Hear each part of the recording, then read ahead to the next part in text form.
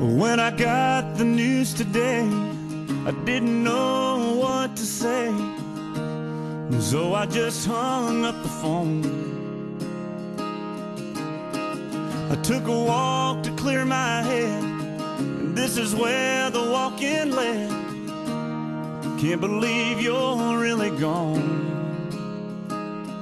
Don't feel like going home, so I'm gonna sit right here on the edge of this pier and watch the sunset disappear.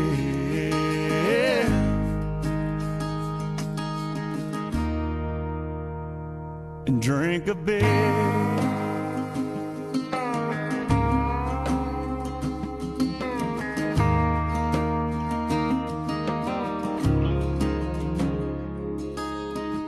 Funny how ones go too soon, but the good Lord knows the reasons why, yes.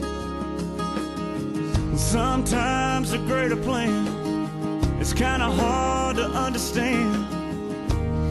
Right now it don't make sense. I can't make it all make sense, so I'm gonna sit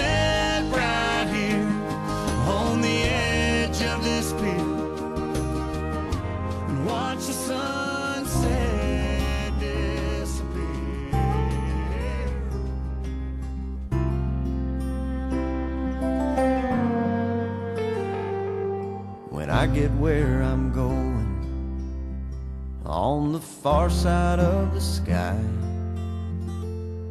The first thing that I'm gonna do is spread my wings and fly.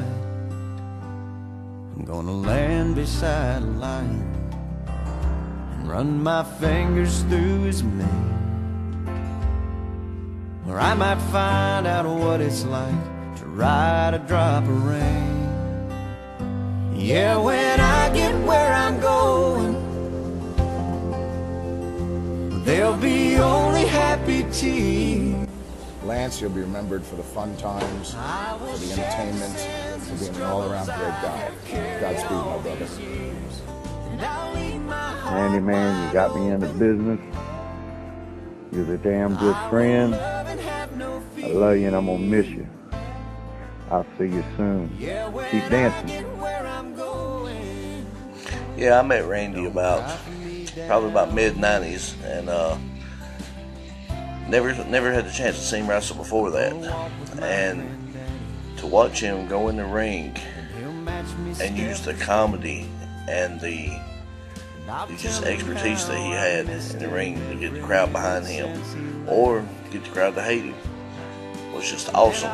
And it was actually the inspiration my candy cane character that I, I used for a few years. I never was a great wrestler, so I had to use comedy. And every time I got in the ring, man, it, he, he was the inspiration behind it. So rest in peace, brother. God bless you. can only say I've only met Lance a couple of times in Greenville, and I tell you what, he was a character, real funny. I'm gonna miss him. Rest in heaven, my brother. Be safe. You know, I remember the first time I met Randy Nichols. He wasn't even Lance Gaylord yet. He was Randy Nichols. He was a wrestling fan. And he gave me hell. And he had hair.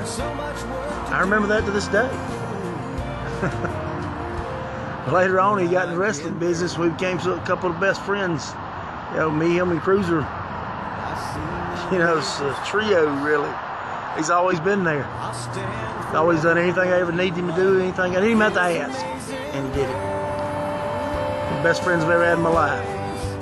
Yes, I'm gonna miss him. But you know what? I'm gonna celebrate his life. I'm gonna celebrate the good times. I'm gonna celebrate all the happiness and the smiles that he brought to me. I loved watching him in the ring. Hated every minute of being in there with him because I couldn't stop laughing. And he did it. So just remember, he was here to make all of us smile. He was a great guy. We love you, Lance.